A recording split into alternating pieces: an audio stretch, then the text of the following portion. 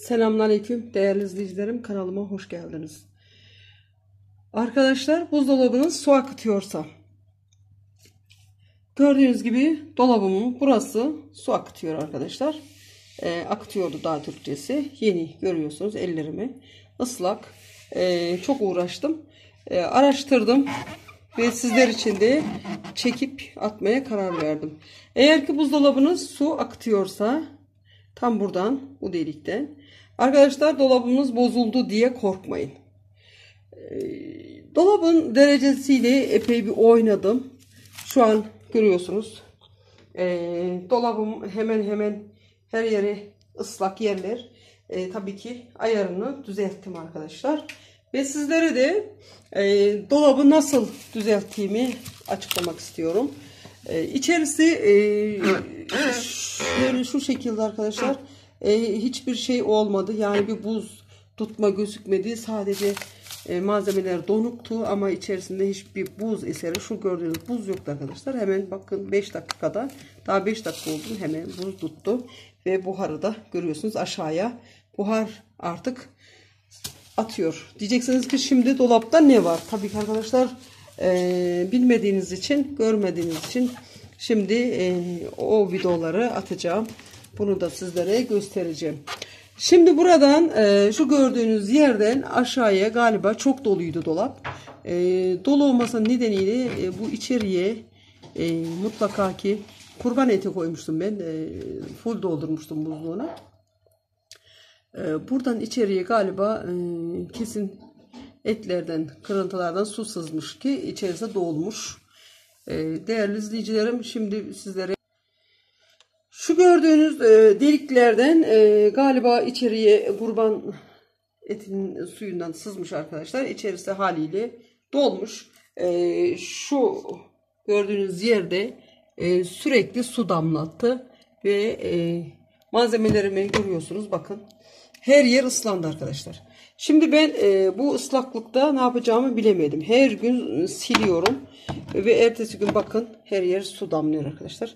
E, ne yapacağımı bilemedim. İşten geliyorum. Buraları böyle temizliyorum. Diyorum ki bu su dolap bozuldu herhalde.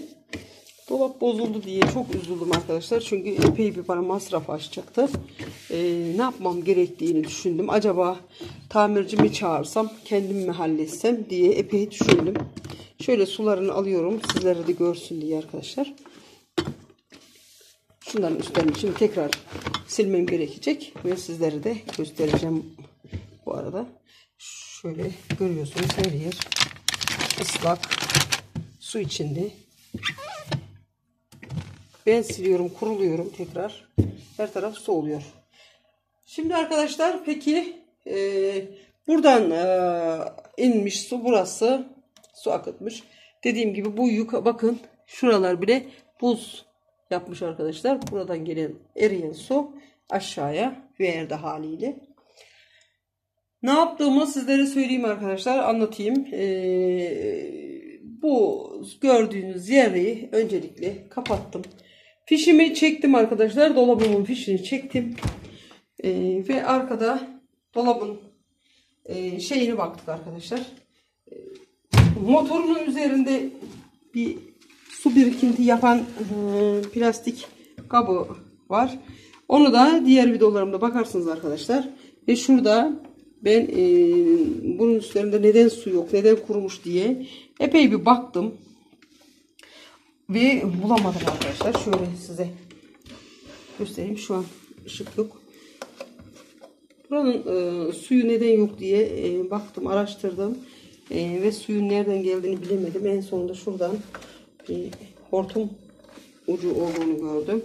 Ve e, şu gördüğünüz boruyu buradan çıkarttım arkadaşlar. İçeriye e, bir tel saldım. Tel yetersiz geldi ve bir e, anten kablosunu getirttim uzunca ve sokup içeriye yukarıya doğru e, saldım. Ağır ağır damlamaya başladı. Tabii ki ben bunu e, kafama göre yapmadım değerli izleyicilerim. Mutlaka e, sizler de e, öncelikle benim videolarımı izleyin. E, videolarımı şu an atacağım. Sizlere de göstereceğim. Dediğim gibi artık şimdi sileceğim. Dolabım artık buradan su akıtmayacak. Eminim o buzlar oradan eriyecek. Görüyorsunuz adeta buz tutmuş burası. Dolabım şu an oldu arkadaşlar.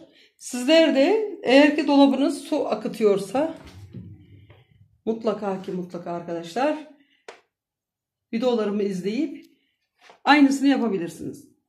Boşu boşuna gidip de tamirci çağırmayın. Öncelikle kendi işinizi kendiniz görün ve cebinizi yakmayın değerli izleyicilerim. Kendinize iyi bakın. Allah'a emanet olun. Hoşçakalın.